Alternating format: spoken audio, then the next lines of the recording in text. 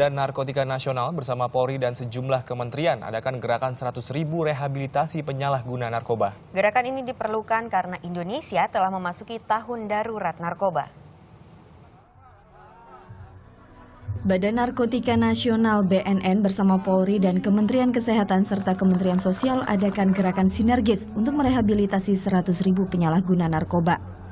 Deklarasi yang dihadiri sejumlah pejabat negara ini mengajak masyarakat agar lebih sadar tentang bahaya narkoba yang saat ini semakin merajalela. Untuk tahun ini akan direhabilitasi paling tidak 100 ribu penyalahguna narkoba. Karena memang penyalahguna narkoba ini jumlahnya sudah 4 juta. Tapi ini tahun dimulainya gerakan masyarakat dan pemerintah untuk bisa merehabilitasi 4 juta itu. Sementara Kementerian Sosial akan menambah konselor adiksi untuk membantu proses rehabilitasi bagi penyalahguna narkoba.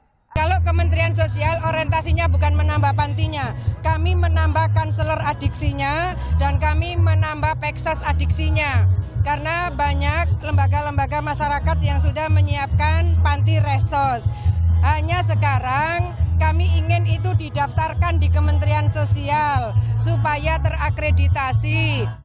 Tidak semua penyalahguna narkoba akan diberikan rehabilitasi. Karena itu, BNN menggandeng Polri untuk turut memberantas peredaran narkoba di Indonesia. Cindy Melody, Tama Gimalaya melaporkan untuk NET.